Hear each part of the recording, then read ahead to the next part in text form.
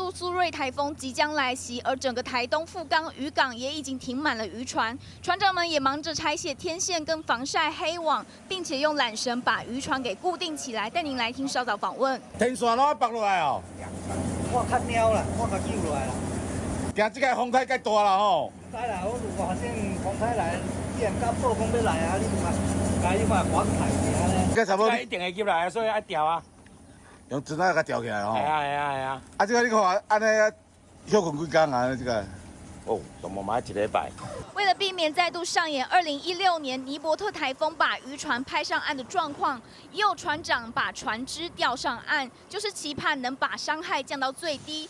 而目前台东的天气虽然晴朗，万里无云，相当炎热，不过岸边已经激起了两到三公尺的海浪。